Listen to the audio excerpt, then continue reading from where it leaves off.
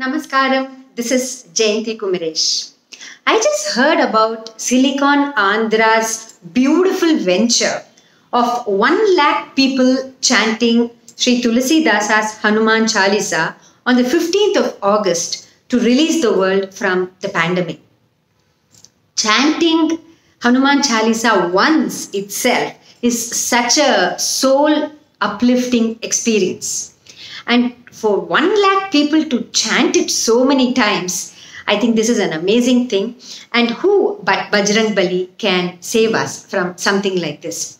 And the reason this is on the 15th of August is that it's the Independence Day of India. Just like India got independence, the world should be freed from a pandemic like this. I don't think anything like this has happened before. I'm sure things are going to be okay.